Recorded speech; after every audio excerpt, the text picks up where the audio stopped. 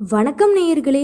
தீராத பாவத்தினை போக்கும் வில்வ மரத்தை பற்றி தான் இந்த பதிவில் நம்ம பார்க்க போகிறோம் வில்வ மரத்தின் இலைகளை பார்த்தால் அவை மூன்று மூன்றாக சேர்ந்தபடி இருக்கும். இந்த வில்வத்திலும் மும்மூர்த்திகள் இருக்கின்றனர். வில்வத்தின் இடது பக்க இலை பிரம்மா என்றும் வலது பக்கத்தில் உள்ள இலை விஷ்ணு என்றும் நடுவில் இருப்பது சிவன் என்றும் சொல்லப்படுகிறது. வில்வ மரம் ஒரு புனிதமான மரமாகும். இதன் தலை ஈஸ்வரனுக்கு பூஜை செய்ய பயன்படுத்தப்படுகிறது. இதனுடைய தீர்த்தமானது குறிப்பாக சிவ தளங்களில் மட்டுமே அதிகம் பயன்படுத்தப்படுகிறது. வில்வ இலையுடன் தண்ணீரினை கலந்தால் அது புனித தீர்த்தமாக ஈஸ்வரன் கோயில்களில் வழங்கப்படுகிறது. மேலும் சிவனுக்கு வில்வ இலை அர்ச்சனை மிகவும் விசேஷமானது. அதனால்தான் வில்வ மரங்களில் கிடைக்கும் இலைகள் ஈஸ்வரனுக்கு பூஜை செய்ய பயன்படுத்தப்படுகிறது. வில்வ இலைக்கு ஒரு தனி சிறப்பும் உள்ளது. ஒருமுறை பூஜைக்கு உபயோகித்த வில்வ இலைகளினை அலம்பி தூய்மைப்படுத்தி மறுபடியும் பூஜைக்கு நாம் பயன்படுத்தலாம். பூஜைக்கு பறிக்கும் பொழுது குளிர்ந்த நீரில் உடலினை சுத்தப்படுத்தி கொண்டு தான் அந்த இலைகளினை தூய்மையோடு பறிக்க வேண்டும். ஒவ்வொரு இலையினை பறிக்கும் போதும் சிவநாமத்தினை கூறியவாறு பறிக்க வேண்டும். அசுத்தமான இடங்கள் அல்லது சுடுகாடு ஓரங்களில் இருக்கும் வில்வ மரத்தில் உள்ள இலைகளினை கண்டிப்பாக பறிக்கக்கூடாது. வில்வ மரத்தினை வீட்டில் அவசியம் வளர்க்க வேண்டிய மரங்களுள் ஒன்றாகத்தான் உள்ளது. அவ்வாறு வளர்க்கப்படும் தெய்வீக தன்மை பொருந்திய மரங்களினை தீட்டுள்ள பெண்களோ அல்லது தீட்டு விசேஷங்களுக்கு சென்று வந்து குளிக்காமல் நிழலுக்காக அம்மரத்தின் அடியில் நிற்பதே பாவமாகும். முடிந்தால் பசும்பால் கலந்த நீரில் வில்வ மரத்தினை வளர்ப்பது சிறப்பாகும்.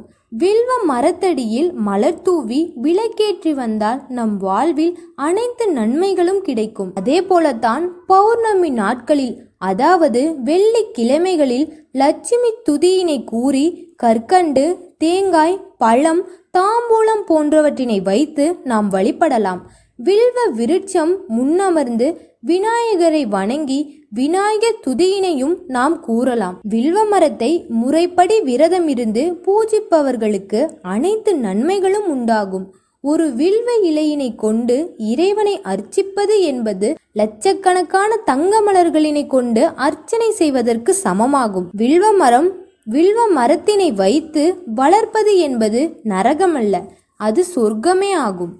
இந்த வில்வ மரத்தினை பயன்படுத்துவதன் மூலம் என்னென்ன நன்மைகள் நிகழும் எனில் ஆயிரம் பேருக்கு அன்னதானம் செய்த புண்ணியம் உண்டாகும். அதே போலத்தான் கங்கை முதலான புண்ணிய நதிகளில் நீராடியதற்கு சமமான நற்பலன்கள் கிடைக்கும். நூத்தி எட்டு சிவத்தலங்களில் வளம் வந்து தரிசித்த மகா பலனும் நமக்கு உண்டாகும். வில்வமரம் இருக்கும் இடத்தில் மகாலட்சுமி வாசம் செய்வது என்பது ஐதீகம். வில்வமரத்தின் கிளைகளே வேதங்கள் இலைகள் யாவும் சிவரூபம். வேர்கள் அனைத்தும் கோடி கோடியான மகான்களுக்கு சமமாகும்.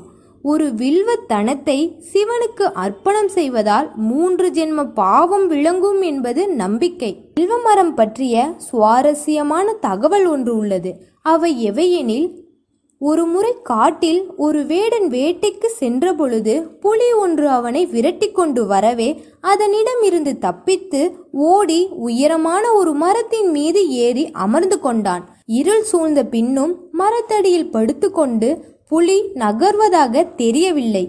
இரவு முழுவதும் தூங்காமல் விழித்திருப்பதற்காக இலைகளை ஒவ்வொன்றாக கீழே பறித்து போட்டு கொண்டிருந்தான் வேடன்.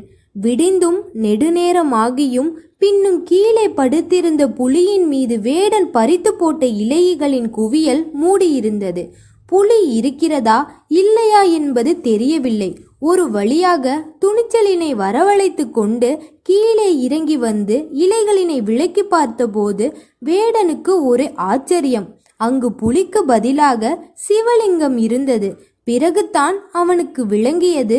இரவு முழுவதும் அவன் அமர்ந்திருந்தது வில்வ மரம் என்றும் அன்றைய இரவு சிவராத்திரி என்றும் அவனை அறியாமலேயே இரவு முழுவதும் கண் விழித்திருந்து வில்வ இலைகளினை சிவலிங்கத்திற்கு அர்ச்சித்ததால் அவனுக்கு மோட்சம் கிடைத்தது என்றும் புராண கதை கூறப்படுகிறது. இன்றும் சிவராத்திரி தினங்களில் இந்த கதைகள் மக்களுக்கு கூறப்படுகிறது. எனவே வில்வ மரமானது தீராத பாவங்களினை போக்கும் சக்தியினை கொண்டது. நான் சொன்ன நியூஸ் உங்களுக்கு பிடித்திருந்தா நம்ம சேனலை லைக் பண்ணுங்க ஷேர் பண்ணுங்க கமெண்ட் பண்ணுங்க. மறக்காம காலை தகவல் சேனலை சப்ஸ்கிரைப் பண்ணுங்க. தேங்க்யூ